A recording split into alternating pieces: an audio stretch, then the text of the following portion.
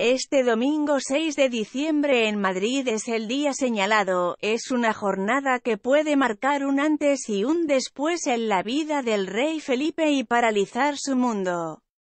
Todo comenzó a tejerse cuando el joven Pablo Urdangarín, sobrino del rey Felipe, fue distinguido entre la multitud de pasajeros y llegó a Madrid, de acuerdo a lo confirmado a Vanitatis por testigos presenciales, el sobrino del rey Felipe celebra su cumpleaños este domingo y, a pesar de los pesares, quiso festejar con sus más cercanos.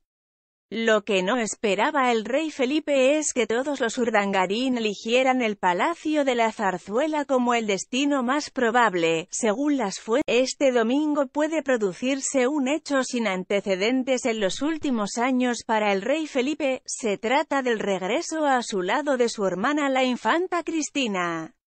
Pero Cristina, la madre de Pablo, no estará solo. Tranquilos, no es que Iñaki dará el presente en Zarzuela sino que también se espera el regreso de la reina Sofía al palacio.